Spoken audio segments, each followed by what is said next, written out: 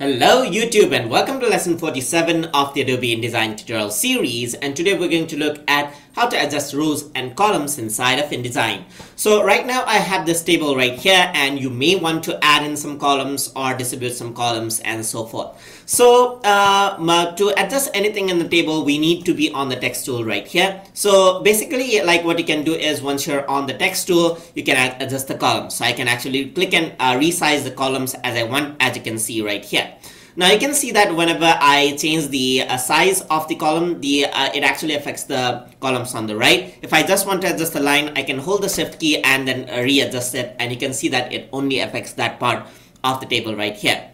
I can also press shift and drag this out and once you do that you can see, see that the whole table size actually increases in size just like that. So that is how uh, tables actually work if I want to add in a column uh, something, let's say I'm going to resize this now. And if you want to add in a column over here, you can actually select this table. And you can see that on the top, you'll actually get table options right here. So you can actually rotate the uh, text right here. You can see that you can rotate it out. You can flip it out as well and so forth. So other options are there which you, you, you should practice out. So if you want to add in a column, let's say you can add in rows um, and you can add in columns just like this as you can see. It is quite easy as well easy as that. If I were to decrease the size, you can see that it'll give me a warning because it'll actually delete the cell. So I'm going to press shift and click and drag and you can see that that is how I can adjust my table just like that.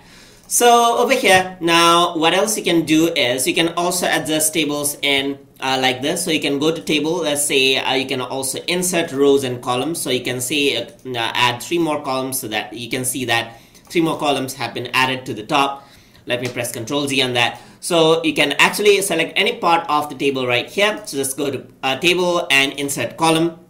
So I'm going to put column on the left. You can see that. Let me show that to you again. So just go to table, insert column, and you can see I can add it to the left or right. I'm going to add it to the right, and I'm going to add three columns, and you can see that three columns are there. So that is how it works. And even the title over here, you can see that now, now this is using multiple cells. I can select all of it and I can go to table and I can actually merge these out. So I can merge cells, I can even split cells. So if I want to split these cells, let's say for example, I can select both of these cells, go to um, table and I'm going to split them vertically and you can that, see that it actually adds the cell line um, there just like that. So if you were to get used to it, you can find it much more easier than Microsoft Word itself. So what you can do is you can also add in mm, uh, vertical division. So you can go to table right here and uh, split, split, split cells horizontally. All right, so let's just go horizontally and that's how you split the cells, just like that.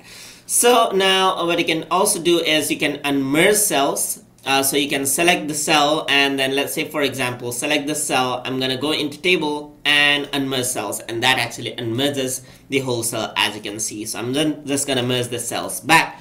And for more uh, table options you can even go to Windows uh, you can even go to table right here and go to table option. And there are a lot of options right here. So you can even insert the tables and so forth so over here, uh, you can also go to uh, Windows, uh, go to layout. All right, so let's uh, just view some table options right here.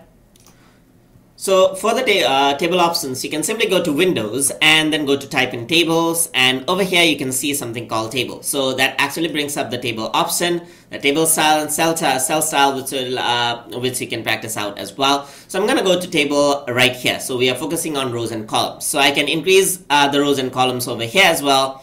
And over here you can see that I can actually set minimum height. So right now if I uh, were not to have any data over here, you can see that the same amount of space is being taken down. If I were to decrease this out, so let me just uh, select all of these cells right now and decrease this out. Uh, this is 3 picas. Alright, so let me just uh, change the size into 5 and now I'm going to increase the size of this as well so I'm going to increase this and you can see that it actually changes the minimum size of the a whole cell just like that. So that is how it works out. So you can decrease it and increase the cell. That's the minimum size just like that. So you can actually adjust it just like that and you can also type in something and let's say for example if you want to rotate it out what you can do is you can rotate it rotate the fonts out just like that. So that is how it works out. So you can also adjust the table width mm, uh, and the leading space uh, for any kind of design you want. So that is basically how you adjust rows and columns inside of Adobe InDesign. Hope you guys learned something as always. And as always, please like, comment, share, and subscribe.